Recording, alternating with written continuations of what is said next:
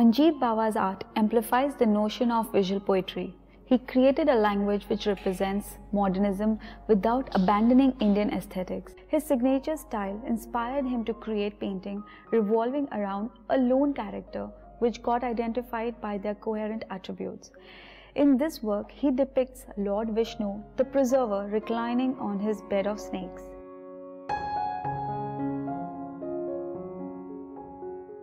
There is a consistently minute transcendence of purple in the background, which contrasts with the inertia of the recline. Manjit Bawa admitted to the fact that his art was intended to be simplistic in nature so that it could be synthesized even by a child.